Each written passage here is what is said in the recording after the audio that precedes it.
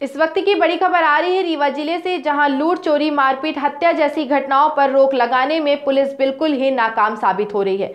आए दिन लूट, चोरी, हत्या की घटनाओं से, जहाँ ज़िले के लोग दहशत में हैं, वहीं अपराधियों के हौसले बुलंद हैं। ताज़ा मामला चुराटा थाना क्षेत्र का है, जहाँ गत दिवस बाईपास में ट्रक चालक के साथ लूट की घटना घटित हुई है। घटना के 24 घंटे के अधिक बीत जाने के बाद भी पुलिस आरोपियों को नहीं पकड़ पाई है, जिसके चलते क्षेत्र के लोग आक्रोशित हैं। स्थानीय लोगों की माने तो बाईपास रोड में अपराधियों का जमावड़ा लगता है, जहाँ पुलिस की गाड़ियाँ भी फर्राटे मारते हुए निकलती हैं, लेकिन पुलिस इन अपराधियों की तरफ़ नज़र नहीं डालती है। दरअसल बीती रात्रि रामधनी सिंह परिहार निवासी सिमरिया के साथ लूट की घटना घटित हुई है, जिनके साथ मारपीट कर बदमाशों ने नकदी ड्राइवरी लाइसेंस और मोबाइल छीन कर रफू चक्कर हो गए। हालाँकि पीड़ित की माने तो लूटपाट करने वालों को वह पहचानता है, जिसकी जानकारी भी पुलिस को दी गई है, लेकिन पुलिस अभी भी आरोपियों को नहीं पकड़ पाई है। सर्व सुविधा नेशनल हॉस्पिटल, समान तिराहा रीवा में। अब कैंसर का सफल उपचार और ऑपरेशन की सुविधा उपलब्ध है।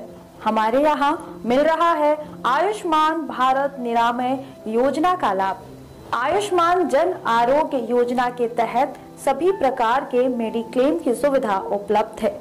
हमारे यहाँ लेजर कैंसर, अस्थि रोग, एंडोस्कोपी, लेप्रोस्कोपी एवं प्रसूति रोग का अनुभवी चिकित्सकों के द्वारा उपचार किया जाता है। कैंसर के इलाज एवं ऑपरेशन अब रीवा के नेशनल अस्पताल में उपलब्ध है। नेशनल हॉस्पिटल के संचालक डॉक्टर अखिलेश पटेल के द्वारा उपलब्ध करवाई जा रही हैं सभी सुविधाएँ। आयुष्मान से संबंधित किसी भी प्रकार की जानकारी के लिए संपर्क करें।